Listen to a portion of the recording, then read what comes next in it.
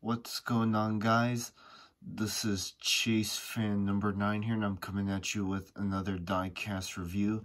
And in this video, I'm going to be taking a look at Corey LaJoie's 2017 number 83 Bubba Burger Toyota Camry. This is my second um, Corey LaJoie diecast I have from 2017. No, wait, actually, I think I have three, actually. Um, I have is um, Dr. Pepper um, Darlington Throwback, which I've not reviewed yet. The other is Dustless Blasting number 83 car, which I reviewed a couple months ago. And now I have this one. So, yeah. He ran this paint scheme in the um, I think he ran this in the Coke 600, and I think he ran this at Vegas too. I could be wrong. But nonetheless, it's a pretty cool paint scheme. I love the fiery detail on it. Looks pretty nice and all that. And it's got lots of dust. These things look like they're covered in dust, but, well, how do I put it? It's covered in dust, but I keep these things inside the boxes. I don't understand, but anyways, yeah.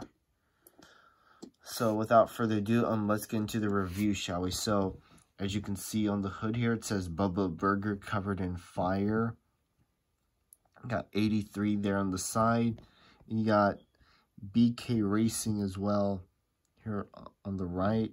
You got Camry here on the front with the Toyota logo. You got the contingency sponsors there on the side. You got Corey's Corey LaJoie's name there on the above the um driver side window. You got Toyota Dr. Pepper there on the side. You got 83 here. You got some other sponsors as well, like Safety-Kleen, Zach, Wix, and SCM. You got Bubba Burger here. And you got this nice flaming decal here along the side. That looks pretty nice. So yeah.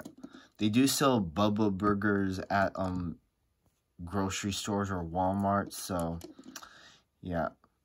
I think I've tried some of them before. And they were actually really good. But I haven't eaten them in, in a long time. So, one day I'm going to have to try it again.